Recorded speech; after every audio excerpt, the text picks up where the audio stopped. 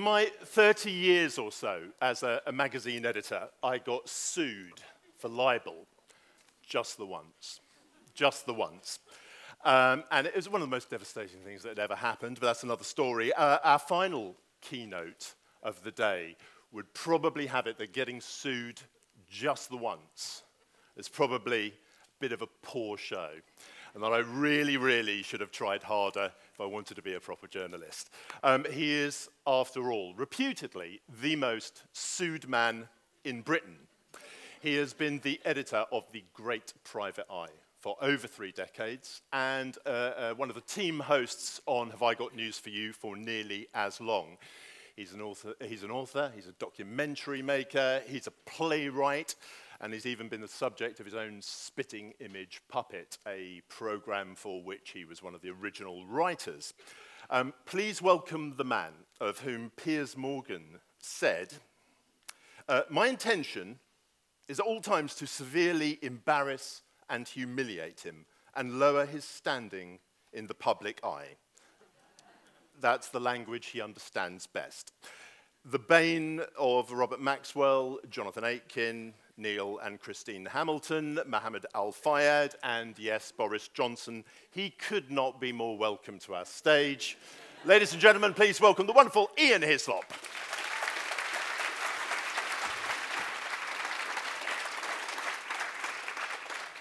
Thank you very much indeed. Um, I'm often asked about my own libel record, which, despite what you may have implied, is actually extremely good. I fought 40 cases and won one. and uh, we lost the costs on that. Who was that to? Who was that to? Now, that was to an accountant. The shame of it. It was. and it cost £100,000. Look, uh, Ian, I want to start with yes. um, I want to start with uh, the, the pressing news of the day, and that's Piers Morgan. Um, yes. Uh, he, he published the following to his Mirror read readership, and I promise that after we've covered this, we're not going to go back to Morgan. Oh, let's. He said, he said, I quote, he wrote to his entire readership and said, "We've got a sneaking suspicion that Ian the gnome Hislop is not quite the squeaky clean saint-like choir boy he feigns to be." Have you got any photographs?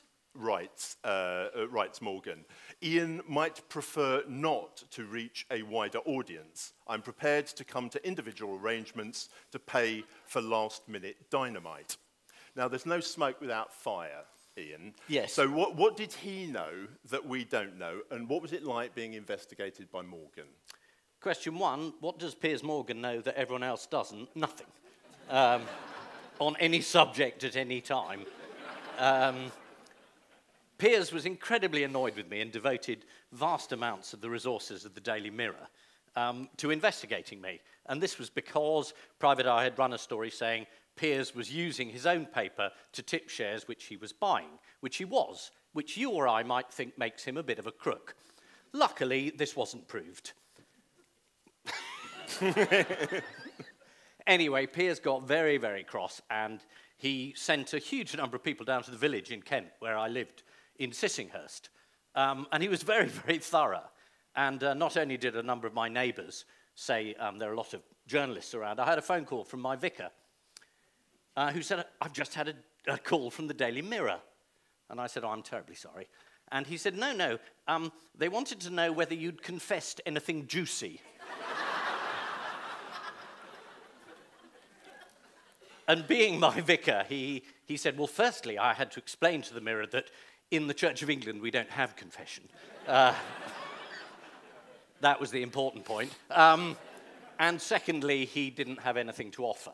Understood. Um, but this continued for, for a very long time until one of the reporters that Piers had put just sitting in the drive. So he took photos of me every morning doing the school run. Because I do the school run, I am marvellous. Man well, I was for about a week. um, and then this guy was just handing out there, and one of my neighbours is a retired policeman um, who didn't know who this bloke was and went up to him, smashed on his window, and said, Are you a fucking pedo? um, at, at, which point the mirror retreated. Um, so in the end, it was actually, I found it was very good to be on the other side of the tabloids. Yeah. Just to, just to see what would happen. And how are things between you now? They're fine, yeah? No, we're great oh, friends yeah. now. no, I, I was thrilled to see him interviewing President Trump. You know, one of those situations where you think, now who do I dislike the most? Now we're going to get, now we're going to now we're going to get to Just Trump. We're going to it. move on to that right away. Now, when I spoke, we, we had a briefing call a, a couple of weeks ago, and I think on the very day um, that we spoke. I think Trump had called for the use of guns in classrooms, the idea of um, uh, yes. uh, teachers packing heat. And whereas the rest of the world, and I'm sure most people in this room, uh, maybe not, maybe some, uh, so, oh God, oh no, what, what's this all about? Uh, I suppose somewhere in a parallel universe in your offices in Soho, the private eye offices, I just imagined you all high-fiving each other Yep. and going, this is comedy. I can imagine you high-fiving, doing this thing. Yeah, we do But a I lot can of that. imagine, uh, imagine you thinking comedy gold. Now, th- this office, talk to me about this office where kind of bad news is, is good news. Give us a, give us a flavour of how stories are chosen and how they make their way to the page. Do you mean about Trump or just about generally? Uh, uh, Trump and generally. Well, the problem with Trump is you have to find the things that he doesn't find funny. I mean, this is the job for satirists, and the American satirists have got very good at it. If you say you're a ridiculous, overblown, fat, blonde groper, you know, his core vote loves that. Um, you know, that's why they voted for him. Um, it's true. So that stuff won't do. You have to find stuff that hurts. I mean, and again, a lot of people found this. You say to Trump that you were always a flop at business, you got a lot of money from your dad, you invested it badly, you're the only man in history who, who lost money running a casino. I mean, the average Italian immigrant did that for 30 years. Um, Trump failed. That's the stuff he finds less amusing. Um, Yeah. and that brilliant Michael Wolff book was full of suggestions that um, the attributes that he claims about himself aren't actually true. Yeah, yeah, yeah. I mean, he's very successful with women, except the ones who know him. It's, it's not only Trump, is it? I mean, th- th- th- you've got a slightly wider problem in that, you Yes. know, in the world of sort of Trump and Boris and Farage and, and Rees-Mogg, arguably they don't actually fear laughter. The, comedy is their thing. That's what they do. So where does that leave somebody like you? And also, I mean, do you fear feeding their ego? I mean, this latest copy, let's have a, just whip it out here. Yeah. This latest copy of Private Eye has got uh, for those that can't see it, sorry, we should have had it on screen, but it's, uh, it's Max Mosley's Racist Past Revealed. And on the left-hand side, we've got Channel 4's Cathy Newman saying, this must be very painful for you, to which Max Mosley replies, yes, please, don't stop. Um, knowing uh, a little bit about Max Mosley's past, you'll, you'll get the gag there. left the bottom what- bit out. It Oh, says- uh, the, the eye says, thanks for the memory. Yeah. Yeah, so what's th- there's a real problem here for you in that we, we're kind of moving into a world that's beyond satire, surely. well, I mean, the good thing about Max is, is, like a lot of people in England, he knows that you have to pretend to find it funny. That's one of the rules of public life. Yeah. No matter what people say, you grit your teeth and you say, oh, yes, that's very funny. I've got a sense of humour. Oh, yes. Um, and Mosley said, I thought the private eye cover was very funny, which is great, because I shall use that in court if he ever sues me. Um, any suggestion he's been caused hurt or damage, which apart from being what he likes, um, I, sorry, it's, it is pathetic, but I just can't resist it. Um, he has now made it very difficult for him to engage in further legal action because he's said what he claims is an incredibly damaging episode in his past, which should be forgotten and the data should be removed. He's now said, I find it funny, which is terrific. Um, and it is funny. Um, and that is why we go on talking about it.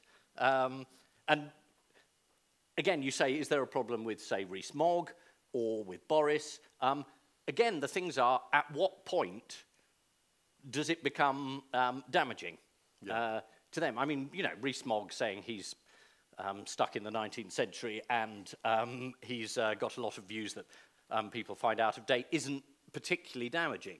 To say he runs a hedge fund, which has made a huge amount of money out of Russia, and perhaps he could give some of it back, I don't think he'll find that very funny Yeah, yeah. in the coming weeks. And he's not so ancient, he doesn't know how to manipulate um, the, the current markets. I mean, there are ways of getting underneath people. And the thing about private eyes, the thing we do is we do jokes and journalism and a, a sort of mixture of the two.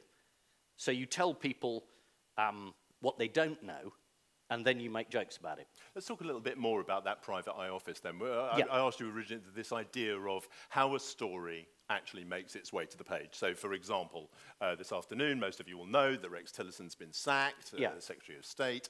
Um, so, how does a, a- sort of fact like that get turned over by you or you, by your journalists or by your freelance writers and end up on the page? Talk Yeah. to us about the process of actually filtering the real world into the pages of Private Eye. Well, I mean, again, you don't have to go very far with Rex Tillerson. Um, you know, he was put in there because he'd done deals with uh, the Russians um, in the oil business. Um, yet last night he made a statement that wasn't terribly pro Putin. This morning he's gone. Were I the special investigator, I would put two and two together And think. and make um, a four fairly quickly. Um, so in terms of what does that mean, I think it doesn't take much to guess what Trump means by that. Um, in terms of investigative stories, um, that's slightly harder, and I mean, it's slightly more difficult. Um, those stories, um, Paul Foot was our greatest and best journalist. He was a, a fabulous, he was um, 30 years, one of the founders of Private Eye, and he was always asked, What's the secret of investigative journalism? And Paul said, uh, People ring me up and they tell me things. That's it. Um, and in a sense, I mean, he was underselling his own talents, but that is true. I mean, Private Eye is essentially a club, and it depends on people in specific industries. For example, the ones many of you are in, um, uh, engaging with us and saying if something's going wrong or you think something's bent or something isn't right, just letting us know. And that is how nearly every section of the eye works. You know, the, the hospital roundup is entirely um, one pissed off um, hospital doctor and all his mates.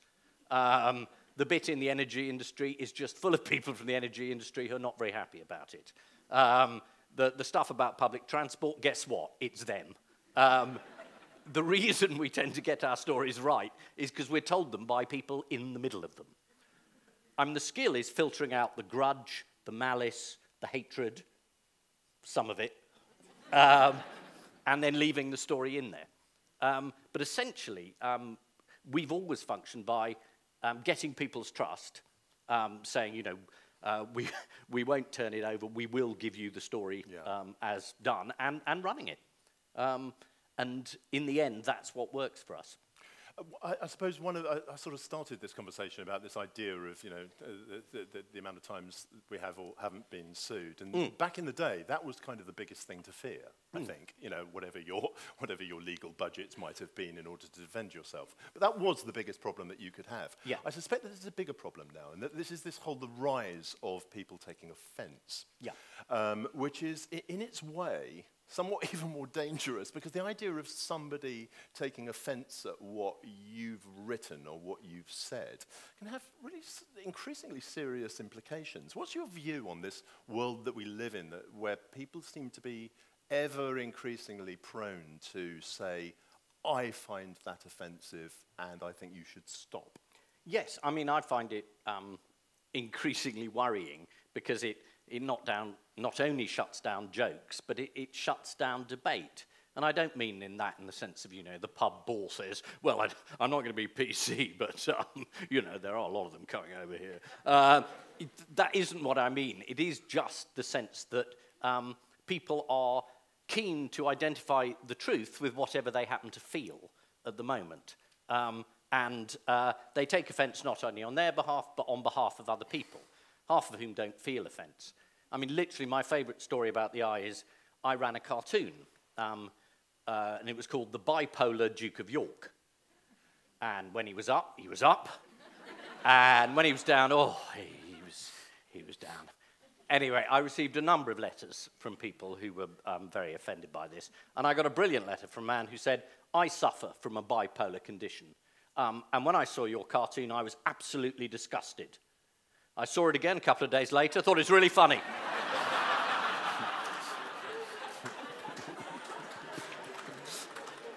and that's a real letter. from an eye reader, and that's what I have to trust that people are sufficiently robust um, that they can take a joke, which, you know, a lot of humour is essentially just sort of um, political or literary criticism done with a joke. Um, and people should be able to take that. But we've had a wave at Private Eye, say, over the last four years, particularly of people who've come into politics recently. Um, and they're suddenly absolutely appalled at the idea that anyone disagrees with them. It started really with the Big Leave campaign, and a number of sort of middle aged people got very energized by taking back control. Um, and if you said, Well, I don't want you to, they were furious. So our letters column was full of people saying, Why do you go on and on and on? And I, I became, you know, outed as a, you know, a fairly obvious Remoaner. Um, and I had to make the point that, you know, if you lose the general election, you don't just say, oh, yeah, you're right, that's it for five years. I'll shut up now. I have no further views. That's not how democracy works. Um, and again, we had it with the Scots Nats. Absolutely furious. A lot of people had found one cause, independence for Scotland. If you disagreed with that, why? Mm-hmm. Can you just shut up? No. Uh, yeah. And then, and then, you know, it was, uh, uh, we had the Corbynites, and this is the youngsters who are very, very keen on free speech, um, providing you agree with them. Um, you know, to quote Voltaire or to requote Voltaire, you know, um, I respect your right to disagree with me, except you're no platformed. Um, yeah. There is a problem there in saying you may not like the Daily Mail, but that doesn't mean you can close it down. Um, don't buy it if you don't like it, argue against what it says. But the idea that anybody who you perceive to be disagreeing with you and therefore you are right must be stopped. That I find worrying. And it's not a sort of, ooh, the snowflakes, aren't they pathetic? It's just a, it seems to be A, underestimating young people who are perfectly capable of arguing. Um, uh, and if you say, well, you know, perhaps Jeremy Corbyn shouldn't have appeared on Russia Today, um, it wasn't an open secret that the Kremlin financed it, and perhaps he should have been more careful. How dare you? Yeah, yeah. You are Paul Dacre. Ooh. Um, you know, it's, it's not enough, really. Um, it must be possible to um, uh, make these points and to argue with people. So, no, I do, I do generally get um, a bit worried by this attempt to um, turn everything into uh, a black and white battle. Um, and it, it does bleed out um, into, into a wider debate.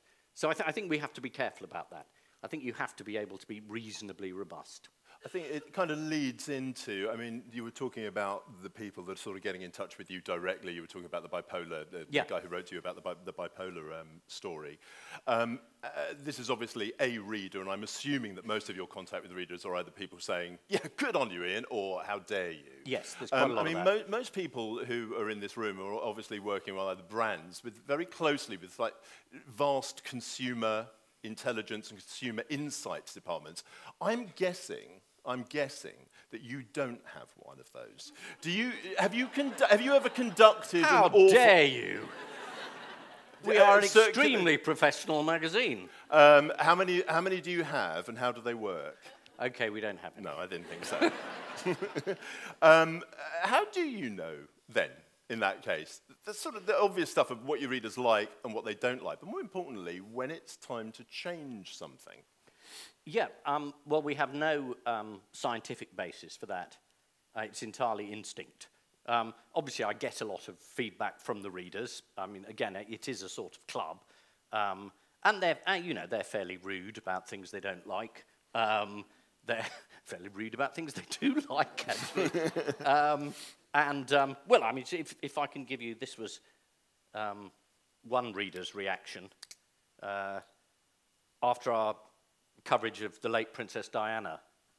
Um, a number of our readers didn't like the coverage, didn't think it was sufficiently grief stricken or respectful. Um, and someone said, Dear Sir, or shitbag. Could you delete it? you are what creeps out covered in green slime from beneath large flat stones. You offend the nostrils, you are beneath contempt. B.W. Cluffley, Rev.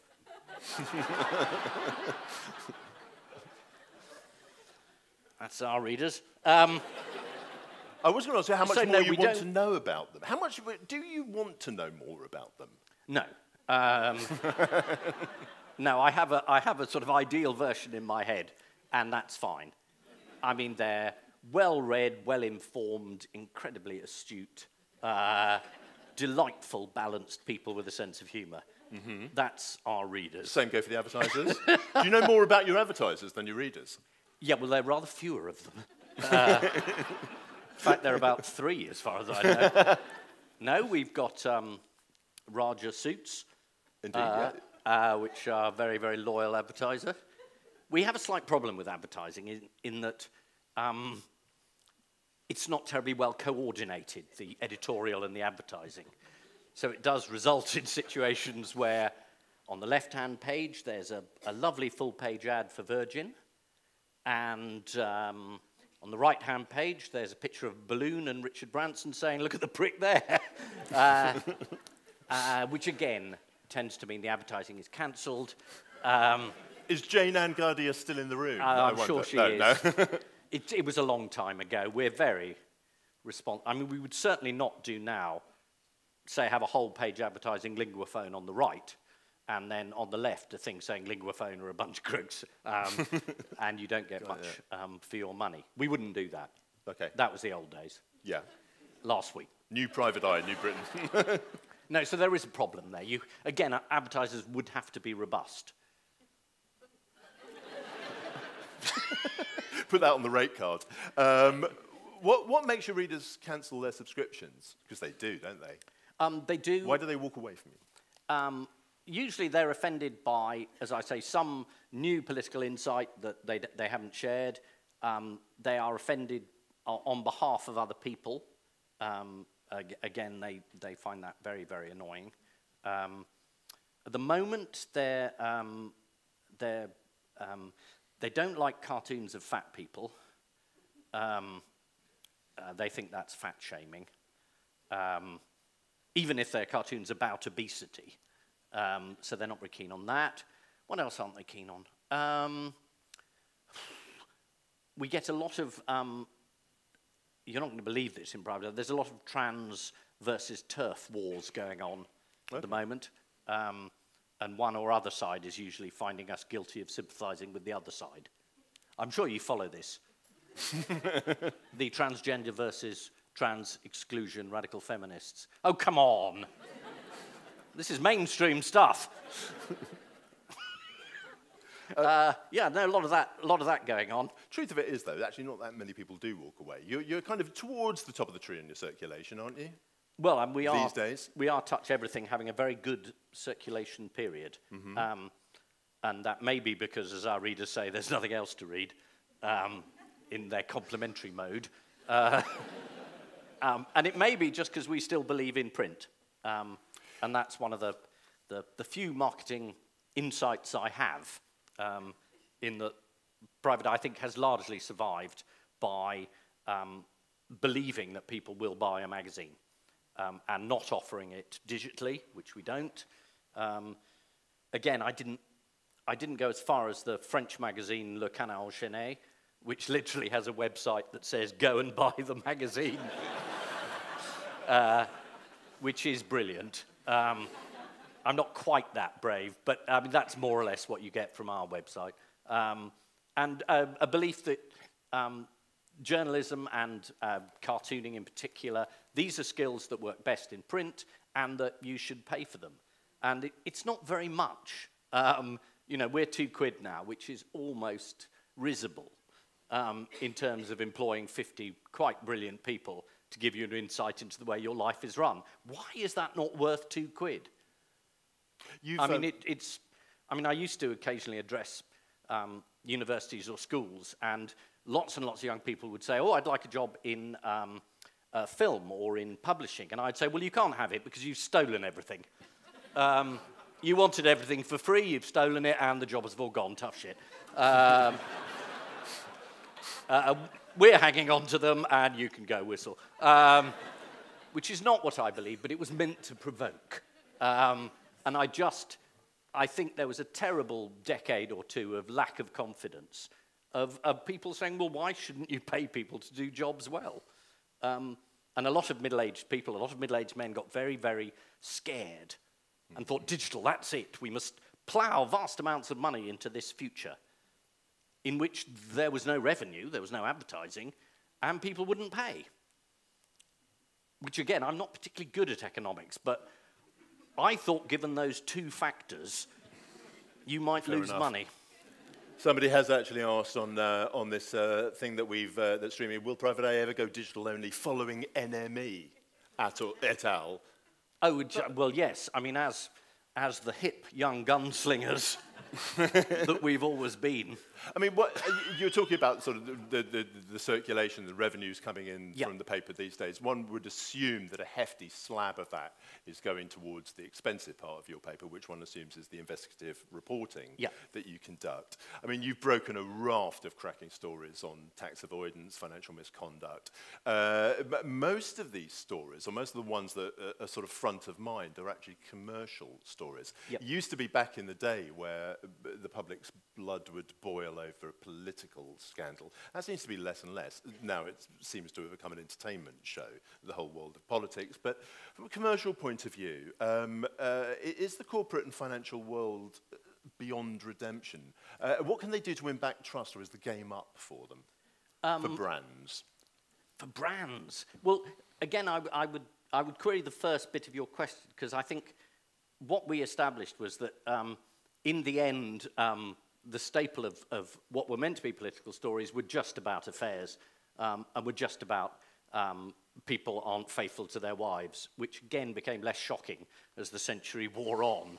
Um, and what I think we discovered was that the interface between government and, and um, commerce essentially was where all our best scandals would be, from PFI to tax to the works. It's the fact that the public is paying, always, um, for the risks which supposedly private enterprise is taking. And that was the area that, um, in particular, Paul Foot and Richard Brooks started writing about. And from being a, you know, a bee in the bonnet, Richard Brooks used to work for the revenue, and we lured him in to the dark side.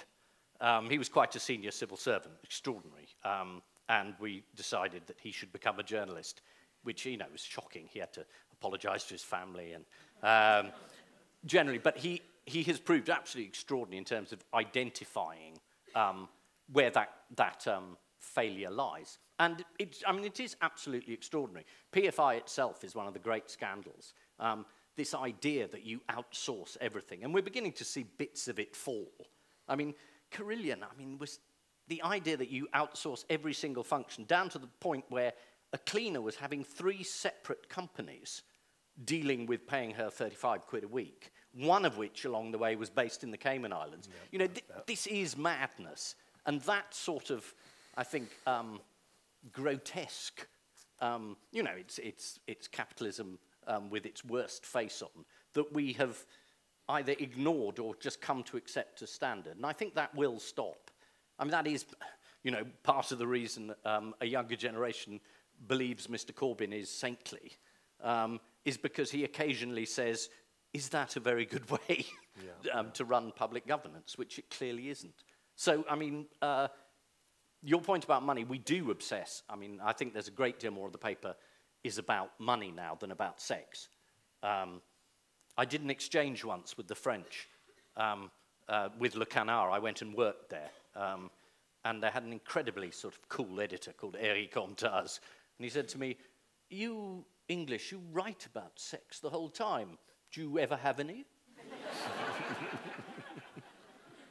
so I said, Yes, we do. Thank you very much.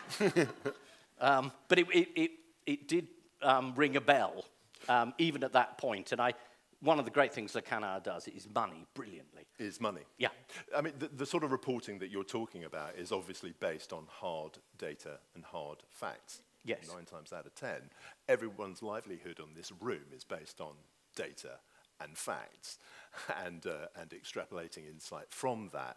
Um, but we're sort of living in a world now where the, that, that sort of currency seems to be of less and less importance in, a, in our post-factual, post-data world where nobody seems to really care about facts and truth. What's your, what's your view on where we've ended up and are we going to be able to pull it back? Um, yes, I mean, you know, I'm basically optimistic um, and that I think a lot of these things are cyclical, but we are now – I think, in an era where you know, Boris Johnson, he made a speech saying, you know, we've got um, our exports with Korea at 25%. I mean, they aren't. They're 0.8. So everyone says to him, they're not, Boris. They're 0.8. That's bollocks. That's bollocks by a massive margin. Can you just get something right in one of your speeches? Eight days later, goes on the radio, says it again. He literally doesn't care whether it's true or not. I mean, it's like the bus you know, we turned it into a kid's song. You know, the lies on the bus come round and round, and they, they just do. Um, and that is um, one of the problems with an intellectual discourse which says, if I feel this is true, it is. And that seems to me just bonkers and post rational. Um, and it's in an area where you could say, well, politicians have lied, we don't trust them anymore. People, you know, in marketing lie, they tell us um, things about their products which aren't true, they tell us these things, so therefore we don't believe anything.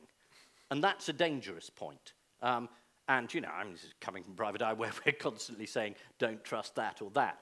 What I hope we're doing is attempting to target it and doing it with a, not with a, um, a merely emotional appeal. Because I do think that is dangerous. Yeah. It's literally people's, you say to someone, um, oh, I don't know, in a row about um, statistics, you know, they, they're saying, well, I want 50% representation of black people on television.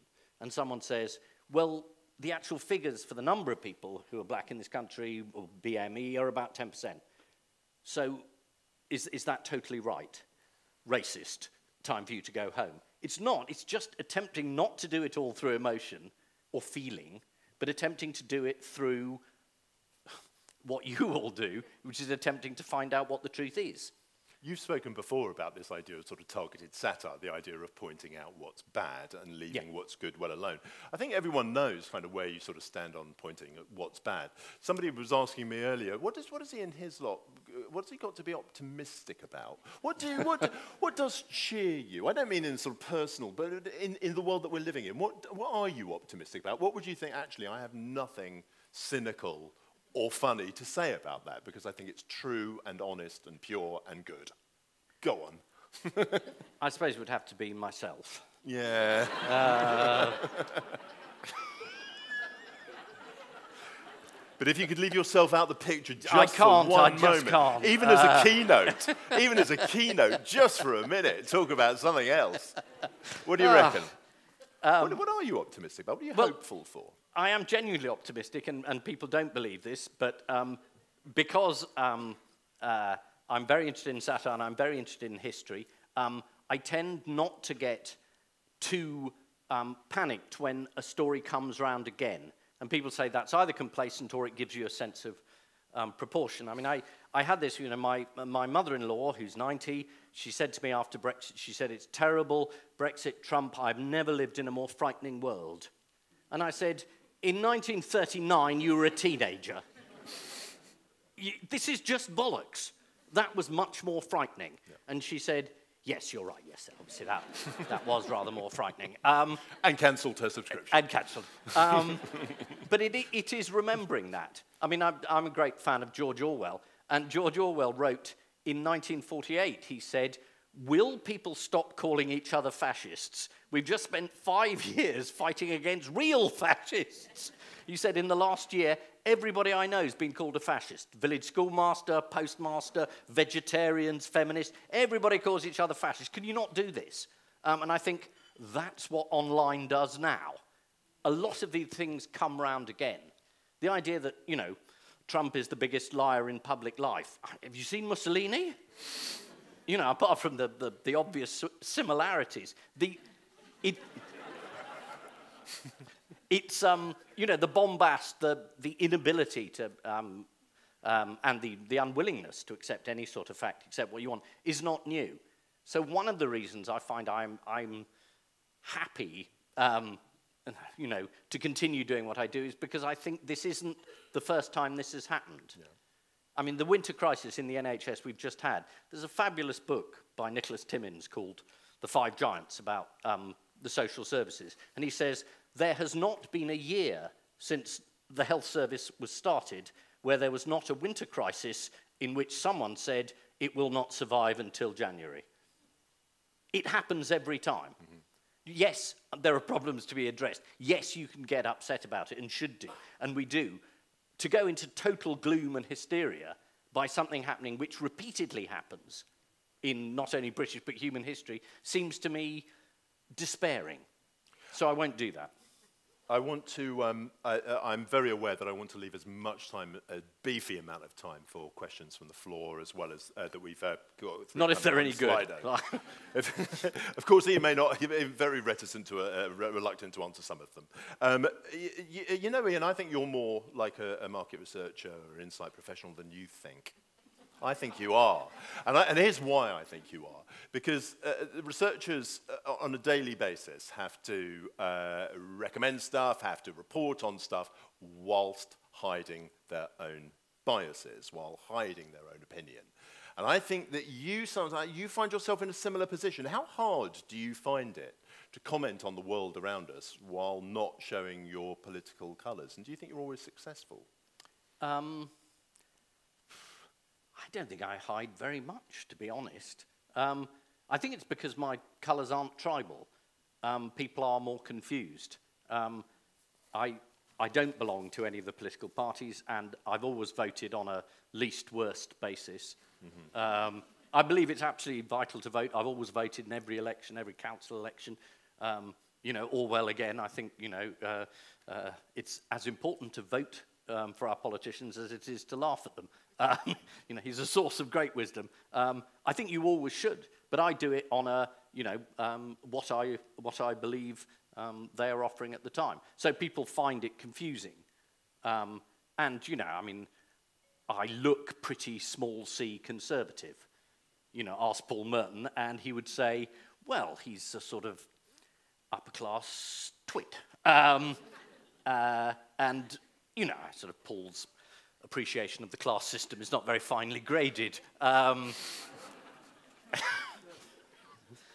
Peter will tell you. Um, but uh, um, I think people assume certain things um, because of my background or what I say or whatever, and they don't know um, where I'm coming from. But I mean, I, I, I try and um, uh, approach politics, which is in, in the grand tradition of British satire, which is to say, you know, that's ridiculous, that doesn't work, that's actually corrupt. You know, it's vice, folly, humbug. That, that's, that's the tradition. Um, and I don't think you have to be very hidden about that. You just say that is ridiculous. Um, and all of that comes from a belief that it could be run better. We're going to go to some questions from the floor in just two seconds, but I've got a real quick fire one for you. I've got a oh, couple oh, no. of quick fire ones that were actually fed to us earlier. So these are real short answers, one on these, and then we're going to go to the uh, then we're going to go to the audience. Greatest mistake you've made while editing the Eye? Um, uh, MMR. Um, I think I ran that story too long and didn't accept the criticism early enough. Okay. Uh, dream host on Have I Got News for You? Um, oh, I think it would have to be Blair. Don't you think that would be wonderful? A whole other keynote there. Uh, best private eye cover. Missing WMD round. best private eye cover that you've that you've uh, that you created. Um, my favourite was the one that got banned in Ireland. Um, it was a picture of the Pope addressing a crowd saying, "I remember the old days when boys used to want to enter the priesthood." Thank you very much. I, have got, I've got a couple of other questions, but I'm going to leave it there.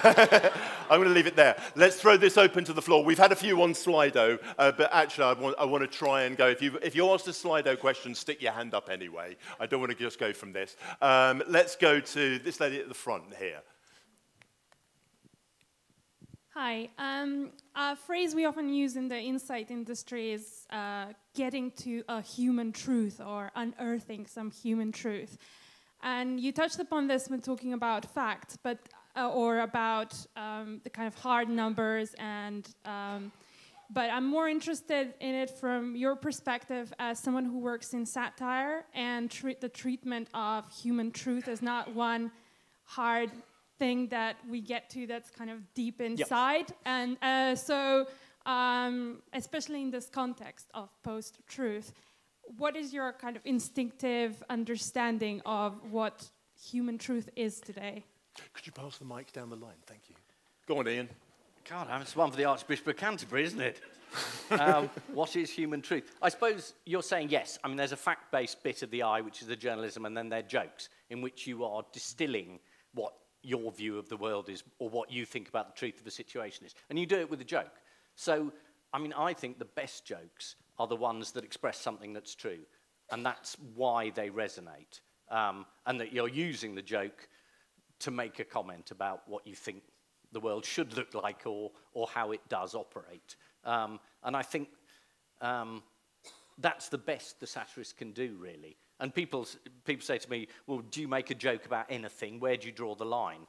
And I draw the line, if I can defend this joke before I put it in, then I'll be happy. And then afterwards, when people say, I think that's crass or black humour or that's too grim, um, I've lost one. Um, I can defend that and say, but I still think it's true. Um, you know, 9-11 happened, and there was, do you remember, George Bush was reading that primary school book, and he was sitting in a classroom, and an aide came up to him, and we had a brilliant photograph of it. Um, and we put it on the front cover with a bubble, and the aide saying, it's Armageddon, sir. And Bush saying, well, I'm getting out of here. uh, which was, you know, in the context of 9 11, um, quite poor taste. Um, but I thought it was defensible because what his first reaction was, was to run for it. Um, and that, again, was, was not presidential. So I suppose we're trying to say, what are people feeling at that point? What are they actually saying? Thank um, you, Ian. Let's go to another question over here. Hello. Um, there's a lot of talk in the world of advertising and marketing about how to persuade people of stuff. And one response is don't tell people factual information. You should appeal to their emotions and you know that sort of individual stories. And I wondered, you know, do you think that's true, basically? Um, yes, I mean, I can see that that would be the received wisdom that you shouldn't tell people um, uh, this will or won't work, or this is or it isn't effective, but just say, tell us your story you know, how does it feel for you? I don't know, I would find that rather creepy. Any uh, other questions? Any other questions but, on the you floor? know, I, I, that seems to be part of the same trend, really. We're going to pass the mic down here to the front, and then we're going to go along to here. One over here. By the way, just a quickie. Um, yeah. uh, somebody asked last year, Danny asks, last year we had, uh, I forgot to mention this to you, uh, Ed Balls was here. Oh, yeah. Uh, last year we had Ed Balls do Gangnam Style. So this year, can you floss? I don't understand what that means. Uh, I do every night. Okay, fair enough. what is flossing? I Sorry. don't understand what floss is. Danny? It's a dance. Thank you very much indeed. We're indebted to you, as they say in court. Next question over here. No, God, Ed Balls. Yeah. Ian, do you have a favorite brand? If do so, I? which is it? Brand of all, all, all products? Um, yeah, Frosties. Uh, when I was on Desert Island Discs, I was asked what my luxury would be. And I said Frosties. Um, and then a lorry arrived at my house. Years' supply. And my wife said, You idiot! Why didn't you say Porsche? Missed a trick. Um, just before we go I do realise that there are other types of cereal available. Most of which are represented in this room Indeed. by various marketing directors. Um, and I accept that they've probably got quite a high sugar content. I'm not, I'm not I still really like them we've got a question come forward. It's quite contentious. I'm not quite sure why it's anonymous, but it's come through. Can you imagine, Ian, what your front page will be for the meeting of Trump and Mr. Kim? He's on the line now. Damn it, man. we've been rumbled. Um, What do you think? So, what's Um, your Trump and Mr. Kim cover going to be? Well, we did a, um, you know, a, a, a Trump Kim cover about, you know, um, he's out to launch, and then we did the, the, the fat man, and then we did the, well, you know, I'm going to have to deal with a maniac, but so's he. We did all those, and then I found that he'd retweeted half of them. Um, it's going to be difficult. I mean, the thing that worries me is that if Trump pulls this one off, it will, it will indicate that being completely bonkers is quite good diplomatic um, tactics Yeah, uh, yeah. internationally, which would be a, quite a grim precedent. So we're all going to be torn in the liberal media between saying, isn't it marvellous there's a peace deal, and oh, God, uh, this means he'll be bonkers on every other front. Um, so it's going to be a tough one for us. Ian, question from the front here, from a familiar face. I just wondered, in the context of the uh, Brexit debate, is there anything you think that could have been told to the British people which would have swung the debate, uh, the vote the other way? I don't know. Some of the facts would probably have been good. Uh,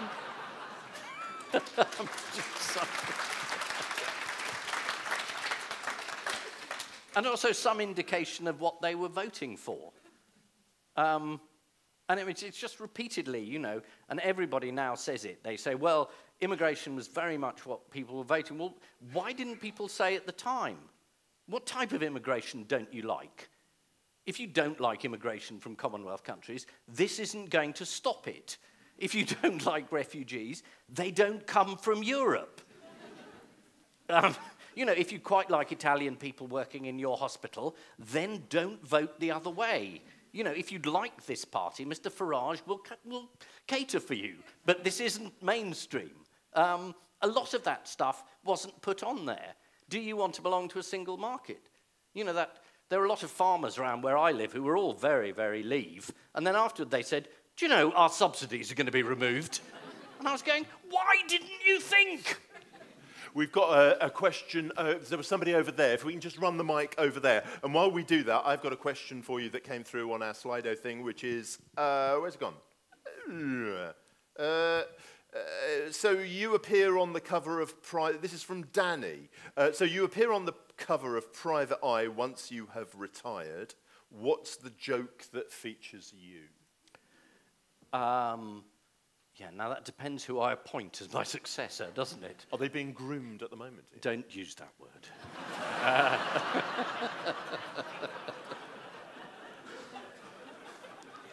I'm the last figure from the 80s who hasn't been arrested.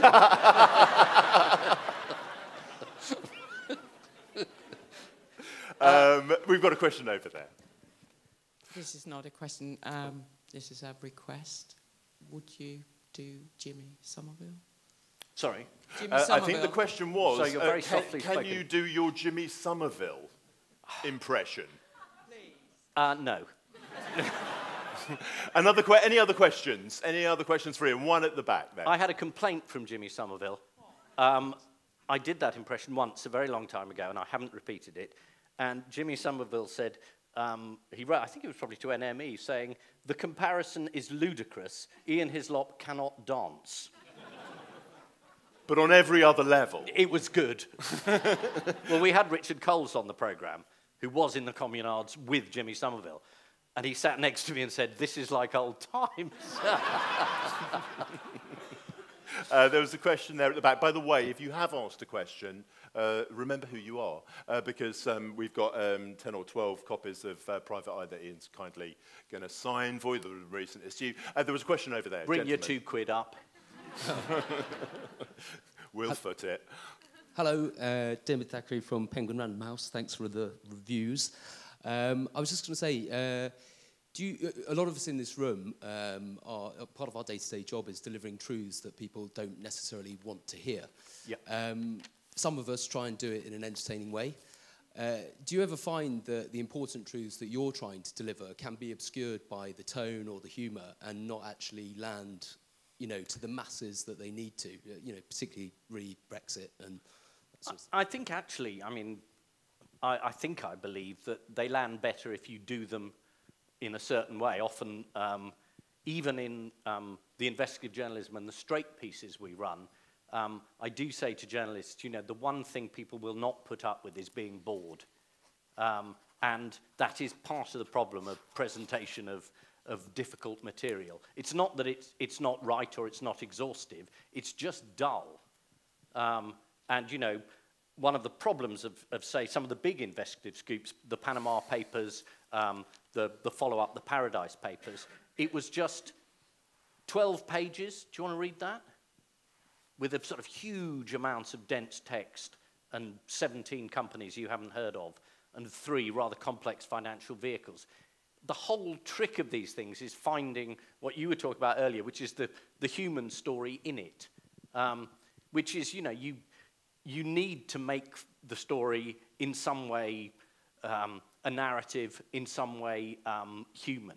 Um, and you can, it's easy to do that on the joke front, but even, I mean, on the, you know, a story like um, the Paradise Papers, it's just, they're, they're, you know, 12 million files and we've got 1,097. You want to know which person is the biggest crook, how much money have they not paid that could have been used to build a school or a hospital or, or whatever? You need to make it in some way applicable. I mean, that, and that's the journalist's problem. Um, rather than saying, oh, with Brexit, there are, you know, there are 37 competencies. Trade's only one of them. We've got to talk about aviation control and port authorities. And you think, oh, God, this sounds really dull. I'm bored even, even thinking about it. Um, or the medical agency and then the financial services. But, you know, when that bloke came and said, within a day, there'll be a 30-mile tailback from Dover of people waiting to get through and no one will be able to deliver, everyone suddenly thought, oh, yeah, yeah, that's not a good idea, is it? And then someone said, Do you remember the Good Friday Agreement? Do you want the Troubles back? No, no, we don't really. Um, that's the way to cut through, I think. Um, uh, I'm going to close with this last question to you, Ian. You've got a group of research professionals, insight professionals in this room, and you know they don't come cheap. Yeah. Although some of them do. uh, we have learned.